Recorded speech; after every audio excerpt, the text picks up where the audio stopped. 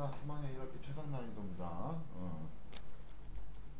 중기 보면서 계산하도록 하시고 2차식 이것이 상수항의 정수인 상수항의 정수인 두 2차식의 곱으로 인수분해 될 때 푸는 방법 여러 가지 있는데 어차피 내용 자체가 고등 거니까 고등 거 갖고 와서 중등 사, 그 심화로 낸 거거든요. 그러니까 고등거로 그냥 설명을 해줄게요.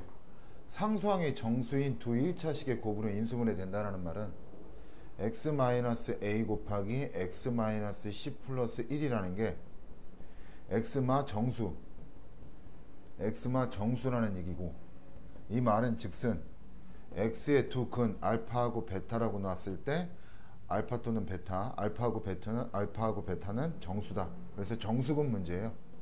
정수근 문제. 그래서 정, 근이 정수가 나와야 한다라는 문제이기 때문에 얘는 푸는 방법이 있는 게 일단 전개 한번 해도록 합시다. x의 제곱 마이너스 a 마이너스 10x 그 다음 플러스 10a 플러스 1이면서 됐어요. 이거는 0이라고 잡고 두 근이 정수가 있다라고 가정해 보면 이거는 0이라고 가정하고 두 근이 정수 알파하고 베타라고 한번 해봅시다. 가정하고 알파 플러스 베타가 얼마가 나오냐면 어, a 플러스 10이 나오고 알파하고 베타가 얼마가 나오냐면 10a 플러스 10a 플러스 1 이렇게 나오게 돼요. 이때 이 두 식에서 연방 때리듯이 문자를 소거해야 되는데 이 1번 식에다가 10을 곱한 다음에 a를 소거한다는 느낌으로 가셔야 돼요. 이유는 뭐 때문이냐면 알파나 베타를 소거할 수는 없는 게 차수가 달라요. 얘는 2차, 얘는 1차. 어, 그렇기 때문에 A를 소거한다는 느낌으로 1번식에다가 10을 곱하면 10 알파 플러스 10 베타. 문자를 소거하는 거예요 지금. 10A 플러스 100 그래서 위에 거에서 아래 거를 그냥 빼버리면 알파 베타 마이너스 10 알파 마이너스 10 베타. 이거는 마이너 이거 사, 사라지고 마이너스 99 나오겠죠? 여기서 인수분해를 하셔야 되는데 강제적으로 인수분해 하셔야 돼요 어떤 느낌으로 할 거냐면 A랑 B랑 더해갖고 A, B가 정수인데 100이 나오는 값을 찾는 것보다는 A랑 B랑 정수끼리 곱해서 100이 나오는 숫자를 찾는 것이 훨씬 더 어, 빠릅니다. 그래서 그런 것 등을 볼 건데 알파로 묶어주면 베타 마이너스 10이 될 거고 요건 마이너스 10 베타잖아. 공통인수가 나올 수 있도록 이거 비슷한 거 해봤지? 베타 마이너스 10으로 묶어줘 버리는 거야. 공통인수 베타 마이너스 10이라고 써줘. 그 다음 마이너스 99인데 문제는 뭐냐면 베타가 아닌 베타 마이너스 10을 했기 때문에 위에 거 식이랑 달라졌다 이거지. 그러면 강제적으로 얼마를 더해준 거냐? 100을 더해줬지. 그 양변에만 100을 더해주면 식은 변하는 것이 없다라는 거야. 무슨 말 하는지 이해가? 어, 이런 식으로 인수분해 하는 거를 연습을 좀 하셔야 되고 고등 겁니다. 그리고 베타 마이너스 10으로 묶어주면 위에다 쓸게요. 알파 마이너스 10이 될 거고 베타 마이너스 10이 돼서 얘가 1이 돼요 그럼 곱해서 1이 나오는 경우라고 얘기를 한다면 두 가지 경우가 있어요. 두 가지 경우. 어떤 두 가지 경우가 있느냐? 곱해서 1이 나오는 경우. 자, 첫 번째는 알파 마이너스 10이 1이고 베타 마이너스 10이 1인 경우가 있고요. 알파 마이너스 10이 마 1이고 베타 마이너스 10이 마 1인 경우가 있어요. 자, 요때 해는 알파는 11 또는 어떻게? 베타는 11 나오고 요때 해는 알파는 9 또는 얼마? 베타는 9가 이렇게 나온다 이거예요. 이랬을 때 A의 값의 최대값을 구하라고 했는데 여기서 A의 값은 어떻게 찾느냐? 아까 요식 전개했을 때 x의 제곱 마이너스 플러스 마이너스 a 마이너스 10x 플러스 하나 이렇게 나왔잖아?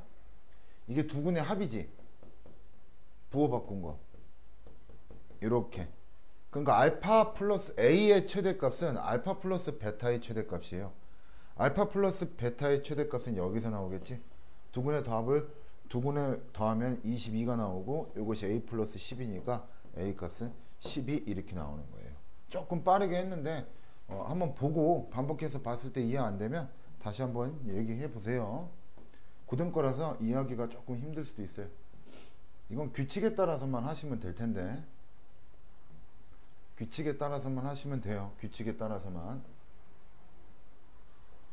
보도록 합시다. 요거 4개의 곱은 항상 뭔가의 제곱, 4개의 곱에다 1을 더한 거 뭔가의 제곱의 형태, 자연수의 제곱의 형태로 쓰인다 라고 하는 건데 곱해봐. 식을 그대로 쓰면 되지. 요렇게. 아무런 흔적도 없던데 이 정도는 하셔야죠. 이게 뭔가의 제곱이 될 것이다. 이런, 이런 얘기잖아, 지금. 전개하면 1차식 4개니까 상수항의 합이 같은 것끼리 전개하면 x의 제곱 플러스 3x 그 다음에 x의 제곱 플러스 3x 플러스 2 플러스 1. 나 치환 안 합니다. 치환 안 할 거예요. 얘는 x의 제곱 플러스 3x 전체의 제곱 플러스 얼마입니까? 어, 2 곱하기 x의 제곱 플러스 3x 그 다음에 그 다음에 플러스 1인가요? 얘는 어떻게 돼? x의 제곱 플러스 3x 플러스 1의 전체의 제곱이 되겠지. 치환 안 했어? 여러분들 치환하고 싶으면 치환하도록 하세요. 이렇게. 그래서 요런 x제곱 플러스 3x 플러스 1의 전체의 제곱인데 이때 x는 는 자연수 중에 제일 작은 자연수라는 거야. 그러니까 여기 8, 9, 10, 11을 넣었으니까 x에다가 8을 넣어보면 8, 8에 64, 24, 1 전체 제곱이니까 계산하면 89가 나오네요. 89의 전체의 제곱 이렇게 해서 얘기해 볼 수 있는 거지. 그 다음에 마지막으로 18번인데 잠깐만 중계 해설 필요라고 적어놨던 게 어, 상단이었나 상단이도였나 네? 18번 보자 이것도 역시 마찬가지로 고등학교 거에서 갖고 온 거니까 고등학교 걸로 하세요 고등학교 거 어, 예를 들면 문제부터 좀 파악해 보면 x의 6제곱 y 6제곱은 x의 제곱 플러스 y 제곱의 전체 세제곱 이해가? 이해가죠? 그럼 합에 대한 제곱 요 요 요 요 세제곱의 합은 어떻게 구해? 이거 뭔가 이렇게 써줄까? x의 제곱의 세제곱 y 제곱의 세제곱이니까 얘는 x제곱 플러스 y 제곱 전체의 세제곱 마이너스 3 곱하기 합에 대한 세제곱 마이너스 3배의 합곱이니까 x의 제곱 y 제곱 그 다음 x제곱 y 이런 식으로 들어가겠지 그리고 이거 두 개 보면 어떻게 곱 구할 생각은 해야 되고 곱은 어떻게 제곱의 합은 합에 대한 제곱 마이너스 2배의 곱 이렇게 나와버리니까 2분의 1 나오네요 맞죠? 어, 2분의 1 그러면 얘 계산하면 어떻게 돼? 3에 대한 3에 대한 세제곱 27 마이너스 3 곱하기 제곱의 합3 곱하기 2분의 1 그러면 2분의 미안 4분의 1 미안 미안 미안 미안 깜짝 놀랐겠다. 미안해 4분의 1 제곱하는 거니까 xy의 전체 제곱이니까 얘는 27 마이너스 9 곱하기 4분의 1이니까 4분의 9네요. 4분의 9 그럼 4분의 108에서 9 빼니까 얼마입니까? 4분의 99 이렇게 나오겠네요. 이해 가세요? 이렇게 만드는 게 싫으면 이렇게도 만들 수 있는 게 x 6제곱. 어디 갔냐?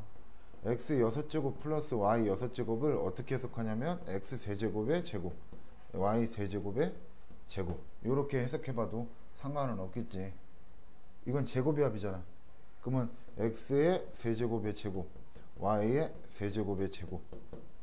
이런 건 이제 쓰면 안 돼. 나중에 이렇게 바로 가야 돼. 얘는 합에 대한 제곱 합에 대한 제곱 마이너스 2배의 곱 x 세제곱 y 세제곱. 이건 제곱이 이건 세제곱의 합을 구해야 되고. 그러니까 어찌됐든 간에 전체 제곱으로 묶든 전체 제곱이라고 표현을 하든 세제곱이라 표현하든 어쨌든 세제곱의 합은 구해야 되기 때문에 어 그냥 마지막에 세제곱의 합 구하는 느낌으로 제곱으로 들어갔던 겁니다. 어 그래서 여러분 그 중기 고등학교 공식 이용해서 하시면 될 겁니다. 됐어요? 여기까지